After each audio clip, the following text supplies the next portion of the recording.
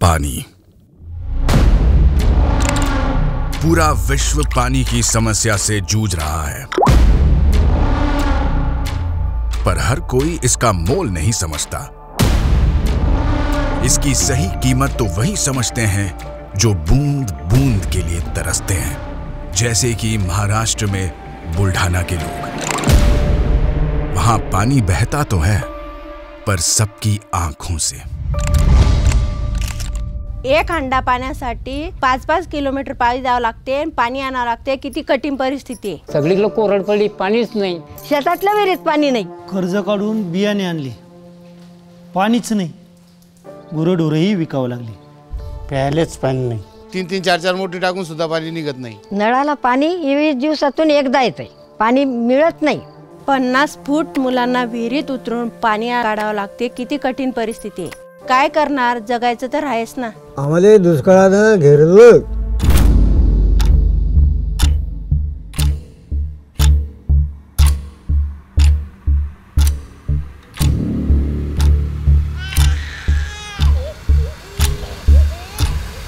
पानी की समस्या किसी एक की नहीं पर जिनका जीवन ही खेती पर निर्भर हो उनके दुख का तो कोई अंत ही नहीं था। जो सूखे की चपेट में आए उनमें से बहुतों ने आत्महत्या की।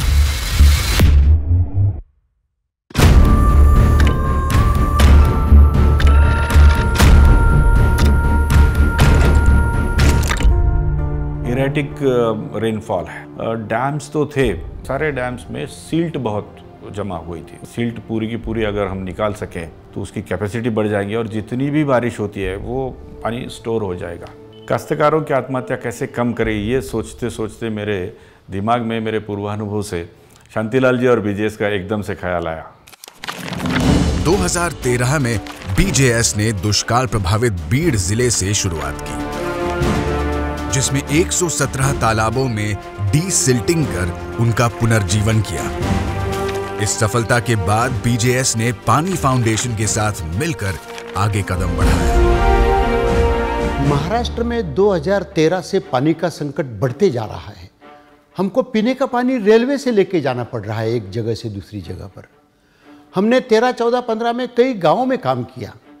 जब 2015 में फडणवीस जी मुख्यमंत्री थे उनके साथ जब बातचीत हमने की हमने 24 डिस्ट्रिक्ट्स के 75 तहसील में ये काम करने का निर्णय लिया। जब बुल्डाना के तत्कालीन कलेक्टर पुलकुनवार जी का मुझे फ़ोन आया उसके बाद में हमने आदरणीय मुख्यमंत्री जी फडणवीस जी से बात की कि क्या हम बुल्ढाना डिस्ट्रिक्ट को वाटर सफिशिएंट बना सकते हैं क्या? जब महाराष्ट्र के मुख्यमंत्री जी ने कंसेंट दिया एक्सेप्टेंस दिया तो हमने बुल्ढाना जाके कलेक्टर और उनके ऑफिशियल से बात की, लोक प्रतिनिधि से बात की, जनता से बात की और हम सब लोगों ने ये डिसाइड किया कि अब हम एक नया जलयज्ञ शुरू करेंगे। शांतिलाल जी, इस विनम्र प्रयास में यथासंभव सहायता पाने की आशा में कई संबंधित लोगों से मिले। गाँव गाँव जाकर सभी को प्रशिक्षित किया सभी को विश्वास दिलाया कि यह काम सचमुच होने वाला है।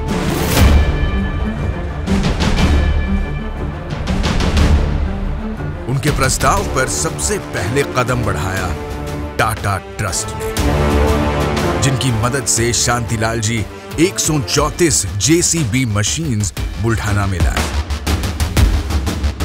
वहाँ से आरंभ हुआ एक नए अध्याय का बुल्ढाना के उन्नति का। सरकार ने तुरंत ईंधन का प्रबंध किया और बीजेएस ने किसानों को हरी भरी उपजाऊ ज़मीन का सपना देखने के लिए प्रेरित किया।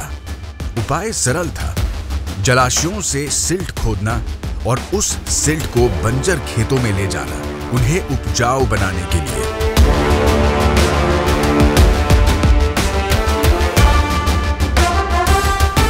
के हर किसान ने अपने कदम बढ़ाए। एक उज्जवल जीवन की ओर और सुजलाम, सुफलाम की ओर।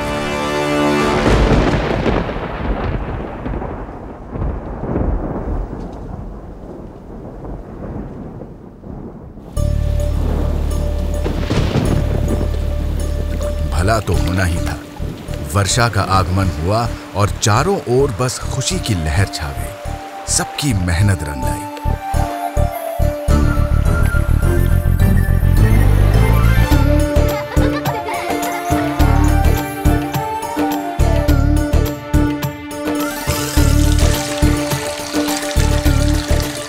बुल्ढाना के घर घर में देखने को मिलेगा।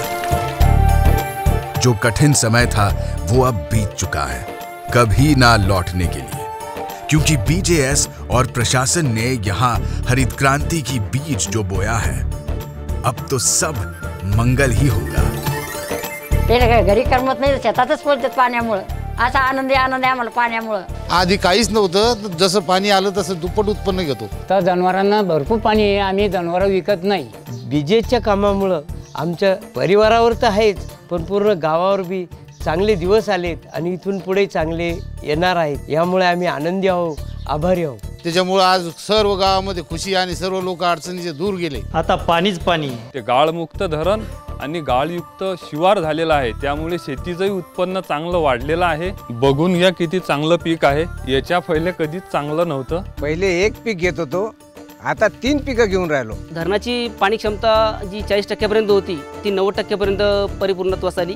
त्यामध्ये त्यांचं लक्षणीय उत्पन्नात वाढ झाली. त्यांची मुलं ही बाहेरगावी चांगल्या शाळेत शिक्षण घेत आहेत. देवासारखे धावून बी जी एस आलं आणि रात्रंदिवस त्यांनी मेहनत घेऊन आमच्या गावाला जे चार साडेचार महिने त्यांनी काम केलं त्यामुळेच आज गाव हे सुजलाम सुफलाम झालेलं आहे. आता घरात नळीत गाळ काढल्यामुळं फ़ायदा झाला.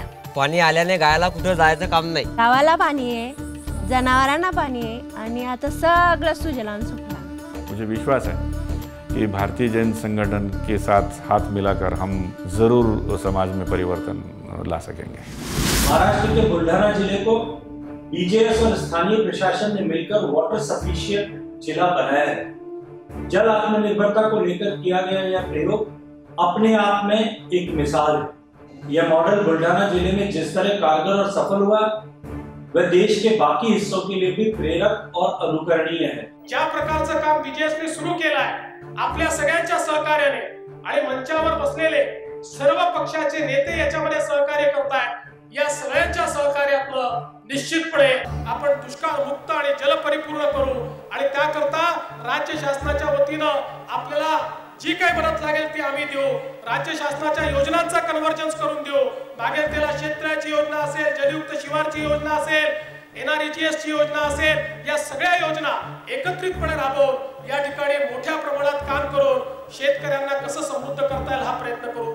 मुझे इस बात की प्रसन्नता है कि बीजेएस महाराष्ट्र के अपने सफल प्रयोग को केंद्र और राज्य सरकारों के सहयोग से अब तेरह प्रदेशों में लेकर जाने वाली है।